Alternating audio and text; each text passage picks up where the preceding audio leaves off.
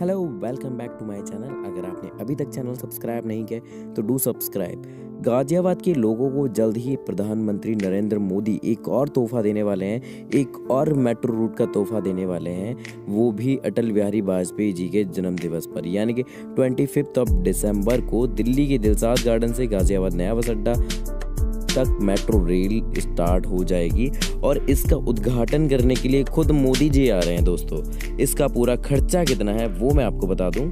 इस प्रोजेक्ट की कीमत 1805 करोड़ रुपए है और इस रूट की लंबाई 9.41 किलोमीटर है। इस प्रोजेक्ट की शुरुआत 17 जून 2014 को की गई थी।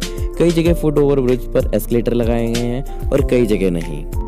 आपकी जानकारी के लिए बता दें, इसकी जो पहले लागत आंकी गई थी 1770 करोड़, उसके बाद संशोधित करके 2210 करोड़ कर दिया गया, लेकिन फाइनल जो कॉस्ट आई है 1805 करोड़ रुपए आई हुई है। इस कॉरिडोर पर 2014 दिसंबर में काम स्टार्ट हुआ था, उस वक्त 2017 यानी कि 2017 को लास्ट डेडलाइन आकी गई थी, लेकिन बाद में मार्च 2018 और उसके बाद 31 जुलाई 2018 और फाइनली 2018 दिसंबर यानी कि ट्वेंटी फिफ्थ ऑफ़ दिसंबर को आकी गई है और हो सकता है कि इससे डेडलाइन आगे बढ़ाई जा सके।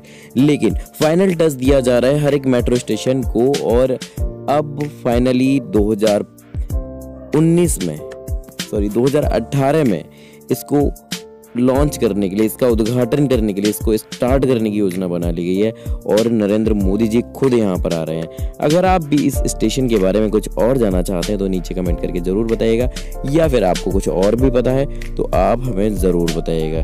तब तक के लिए bye see you in the next video अगर आपको इस वीडियो में कुछ भी पसंद आया है तो प्लीज़ एक बार लाइक कर दीजिएगा और शेयर कर दीजिएगा अगर आप चाहते हैं। और अगर आपने चैनल सब्सक्राइब नहीं किया है तो डू सब्सक्राइब गाइज़ तब तक मिलते हैं अगली वीडियो में।